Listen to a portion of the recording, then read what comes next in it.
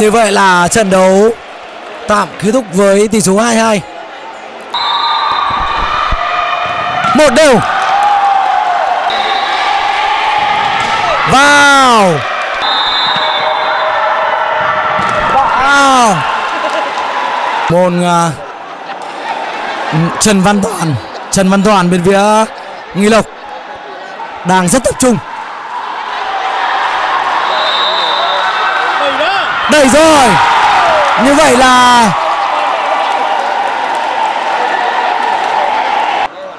Nguyễn Trần Trung Hiếu đang à, đứng trước thủ môn Nguyễn Văn Thiện. Vào. Như vậy là Nghi Lộc đã giành chiến thắng. Ẩn số.